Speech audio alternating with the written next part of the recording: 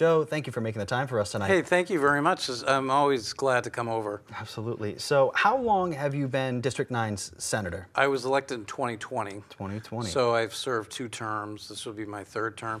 You're allowed a maximum of four terms. Mm -hmm. So, this would be my third term. And during that time, what were some of your biggest accomplishments as well, a senator? I think that several different things on different fronts, but most importantly is revenue sharing to the city of Bangor and the town of Hermon. Mm -hmm. The, the, revenue sharing to Bangor has gone up from two, from about three million per year to almost 10 million per year, mm -hmm. which makes a huge difference when they're doing their budgets and hopefully stabilizing the tax rate. Mm -hmm.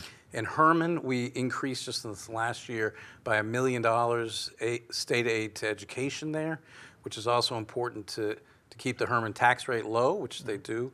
Um, so bringing resources to local communities is really one of my most important objectives, and I've been happy that we've been able to really increase uh, money is going to Bangor and Hermon. Mm -hmm. And you know, how are we seeing that used in our communities? You mentioned lower tax rates for these towns. Right. How are we seeing that happen? Well, it's up to the city councils or town councils how to spend it, mm -hmm. but uh, it, the money is intended to keep the tax rate as low as possible. But that doesn't always work out. But these are resources that help fund police and fire, public works, infrastructure improvements. So going from three million a year to 10 million a year is a per year is a major increase in Bangor's resources to fund important public services. Absolutely. And you know, you've been the senator since 2020. What do you see as the key issues for, for District 9 and how do you plan to address those? Well, uh, serving as the chair now of Health and Human Services, Bangor has a large healthcare economy. Mm -hmm. And I've worked closely with the, the hospitals, both Northern Light and St. Joe's, with the nursing homes, the veterans home, because they have been facing over the last four years enormous financial challenges. Mm -hmm. So part of my, the reason I wanted to serve on Health and Human Services was to be able to focus on helping medical providers um, and hospitals, nursing homes, we were able to provide relief directly to nursing homes this past year, including the Veterans Home. We've increased payments to the hospitals. Uh, we've given money to the hospitals to keep them open.